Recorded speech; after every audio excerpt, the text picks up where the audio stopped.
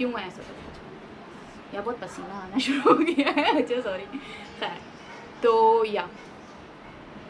इस चीज़ को कट करना पड़ेगा। I can fly.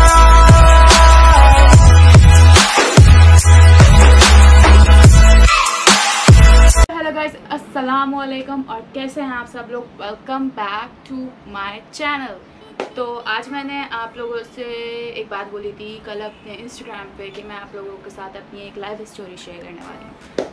So so, hmm, लोगों को कितना डीमोटिवेट किया जाता है ना ज़िंदगी के अंदर तो मैं बस वही एक चीज़ आपके लाइफ में ना आप लोग की ज़िंदगी में बहुत ऐसे लोग आएँगे जो बोलेंगे कि आप ये काम ना करो। मतलब अगर आप अपनी ज़िंदगी में कुछ आगे बढ़ने की कोशिश कर रहे होगे ना तो बहुत लोग आएँगे जो आपको पीछे धकेलेंगे मैं आपको अपनी ज़िंदगी का एक वाक्य सुनाने वाली थी जो मेरे साथ हुआ था जब मैं टेंथ ग्रेड में थी।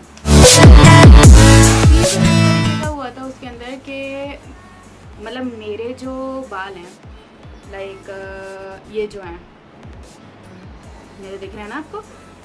ये खैर मेरे गंजे होने के बाद आई I मीन mean, बहुत सारे लोग सोच रहे होंगे गंजे होने के बाद जी गंजे होने के बाद।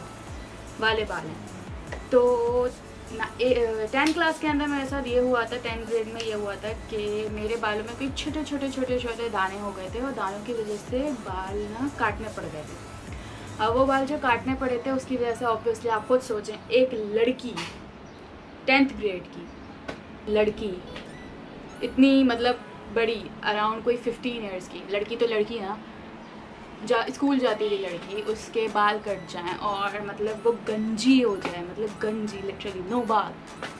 तो कैसा लगता है? आई नो बहुत सारे लोग बहुत डरते हैं क्योंकि मैं भी डरी हूँ अपनी लाइफ में बहुत। मैं स्कूल नहीं जाती थी यार, मैं मतलब पूरे साल में, मैं कोई ढाई महीने तो स्कूल गई हूँ, जिसमें हमारी प्रिंसिपल बोलती थी, क्यों आई हो आप? अब भी बताती। आती सो लाइक मतलब हो जाता है इंसान के साथ, ऐसा कोई ना कोई एक्सपीरियंस हो जाता है इंसान के साथ, जिसमें उसको मतलब बहुत सारी चीज़ें ऐसी नज़र आती हैं कि कौन आपका दोस्त है, कौन आपके दोस्त नहीं है। मेरे साथ आज भी मेरे वो लोग हैं जो उस ज़माने में मेरे दोस्त थे। और मेरे साथ कुछ ऐसे लोग भी हैं जिन्होंने मुझे बहुत डिमोटिवेट किया था। मतलब बहुत ज़्यादा इस तरीके का किया था। मतलब इतना कर दिया था कि मैं रोती थी घर पे बैठ बैठ के कि यार, मेरे साथ ऐसा क्यों हो रहा है? मेरे बालों अब मेरी तो इसमें कोई गलती नहीं थी कि मतलब छोटे छोटे दाने हो गए, उसकी वजह से मेरे बाल काट दिए गए, उसकी वजह से वो मेडिकल कंडीशन थी है। खैर तो ये सीन हुआ और इस वजह से काफ़ी लोगों का मेरे सामने कहते हैं ना चेहरा सामने आया कि कौन मेरे साथ है, कौन मेरे साथ मैं किसी को यहाँ पे पॉइंट पॉइंट नहीं करूँगी, किसी को कुछ नहीं बोलूँगी। मेरी लास्ट वीडियो से ये हुआ था कि मेरी काफ़ी लाइक दोस्तों को लगा था शायद उनके मुताले बात करूँ बट मैं किसी को पिन पॉइंट नहीं कर रही यहाँ पे।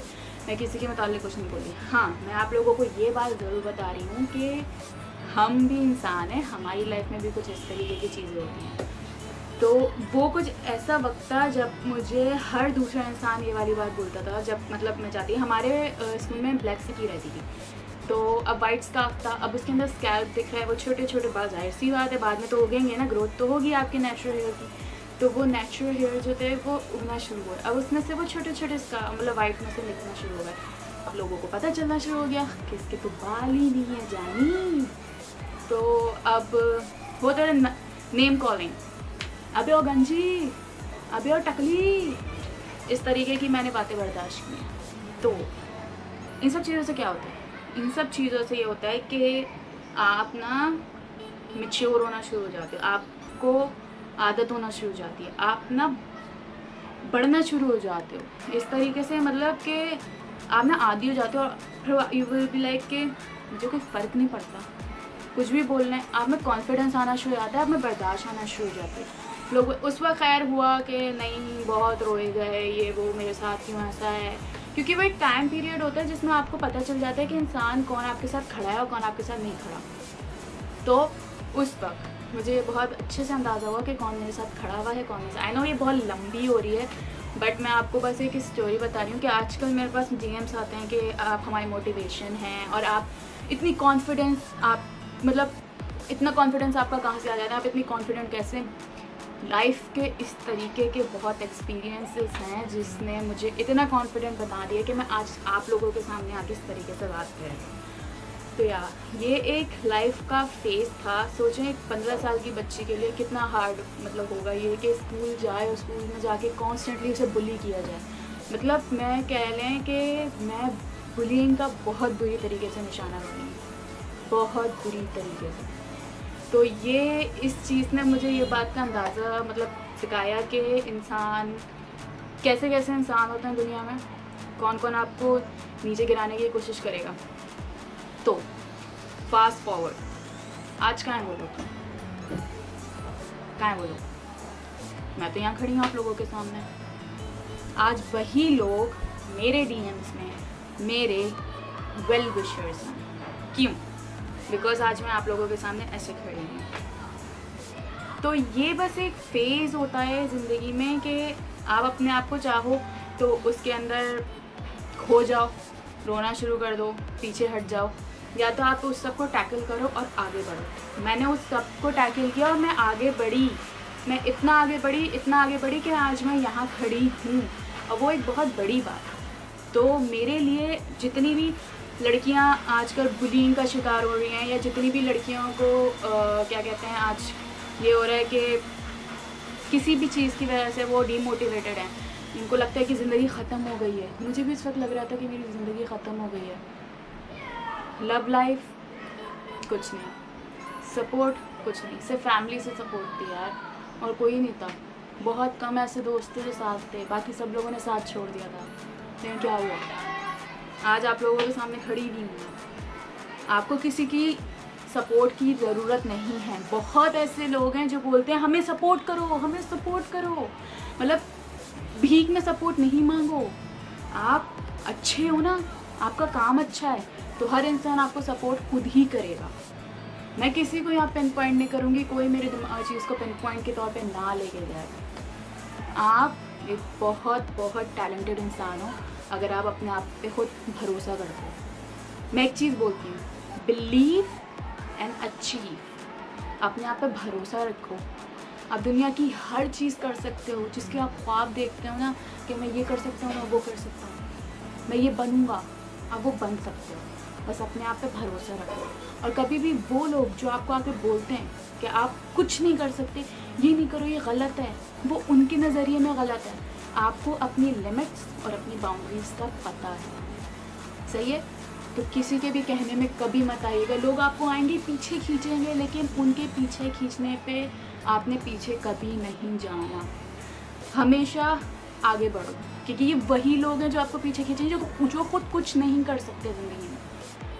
मुझे बहुत पीछे खींचे गया बहुत ऐसे लोगों मैं ऐसे लोगों से टकराई हूँ जो बस चाहते हैं कि मैं गायब हो जाऊँ। लेकिन मैं गायब नहीं हूँ बिकॉज़ मैंने अपने आप को कुछ बनाना है, अपने पेरेंट्स के लिए, अपने आप के लिए, आप लोगों के लिए, जो मुझे प्यार करते हैं, जो सपोर्ट करते हैं, जो मुझे देखते हैं, आप लोगों के लिए। आप लोग ना होते तो आज मैं ना होती। ये बात मैं हमेशा बोलती हूँ बात मैं अभी भी बोल रही हूँ। तो आई होप आपको मेरी उस वाक्य से थोड़ी सी सीख मिलेगी और ये बात पता चलेगी कि हर इंसान परफेक्ट नहीं होता। हर किसी की ज़िंदगी परफेक्ट नहीं होती। कि मैं कितनी बुलियन का निशाना बनी, उसके बाद मैं आज यहाँ खड़ी हूँ और आज वही लोग मेरे पास। एक, मैंने अपनी पुरानी वाली वीडियो में भी कहा था एक कहावत है। यू क्या था? You call me ugly in my ninth grade and now you're in my messages कुछ ऐसे करके कहावत थी।